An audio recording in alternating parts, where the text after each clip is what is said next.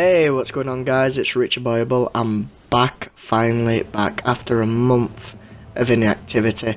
I do apologise for that, I have been really busy, but hey, enough with that. Um, we don't need to go into detail with that, uh, but pretty much I'm going to do episode 3 of the Forza Horizon car showcase. So here I'm displaying my uh, uh, Mazda RX-7 Gears of War styled uh, this is mainly one of my best drift cars, and I do apologise, guys, but I am full of cold, and I think I might be full of flu. But as you can see, as we're going around the car, the lights, the bodywork, I think this thing. I mean, I can't actually open up the engine or the back, but it's going to be pretty much a little bit of a short one. So, like, good wheels there. Um, we're going to go inside and we're going to rev this engine for you now.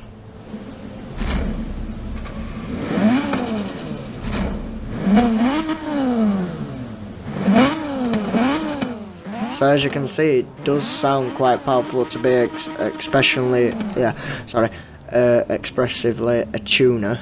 Uh, but it is a very powerful car having at least 700 to 800 horsepower.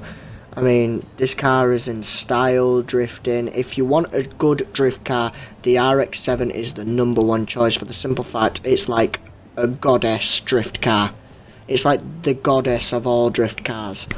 I mean, to me, it, if it was a woman, it would make a fantastic woman in my life. But yeah, matte paintwork of Gears of War 4. I mean, I haven't actually played Gears of War 4 yet myself, but I mean, in all fairness, this car is just a beautiful car. I mean, the headlights, the the bodywork, the wheels, everything just goes spot on.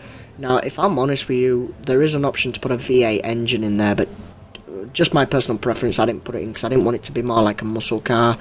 I mean, you can put bodywork on it, body kits and everything. I mean, this car, for me, is the number one drift car, as I've said. Uh, pretty much, guys, as I said, this is also a tribute as well for a friend of mine in over in America who's called Robbie, who loves vehicles just as much as I do.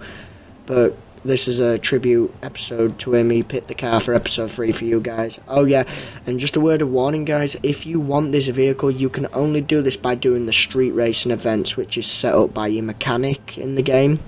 Um, you can buy them off the auction house, but they are expensive and rare to get hold of. I did mine and got mine through doing the street races itself. The car is brilliant, and pretty much guys, Thanks for watching, and I will see you guys in episode 4, and take care of yourself.